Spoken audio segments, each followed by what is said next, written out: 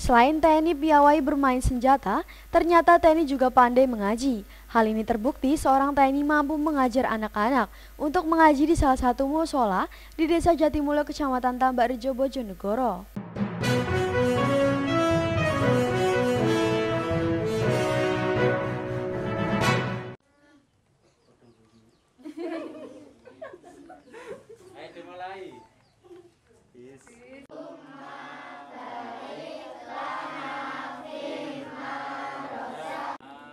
Selain melakukan pembangunan di bidang fisik, TNI juga membangun di bidang non-fisik, yakni mencetak generasi yang memahami tentang bacaan Quran. Mulai dari cara melafalkan huruf hijaiyah hingga mengenalkan bacaan tajwid terhadap anak-anak. Lantaran bukan kebiasaan yang biasa dilakukan, salah satu TNI Kodim 0813 Bojonegoro, Kobda Edi Rusmanto mengaku sempat grogi namun setelah berjalan beberapa saat, ia tampak enjoy dalam memberikan pengarahan terhadap anak-anak. Antusias anak-anak pun mewarnai dalam kegiatan tersebut.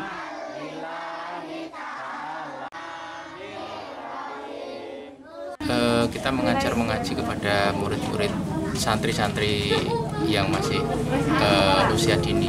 Pengalamannya kita sangat uh, sebenarnya sebelumnya kita tidak pernah ngajar jadi kita agak grogi antusiasnya sangat bagus. Dia uh, mempunyai keinginan untuk belajar. Harapannya uh, dengan adanya TNI ke sini kita bisa mendidik mereka. Ya tidak banyak mungkin biar mereka lebih dekat sama TNI ayo mulai.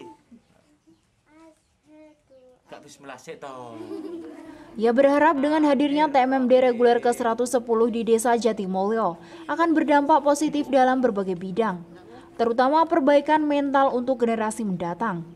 Tim Liputan, Jaya TV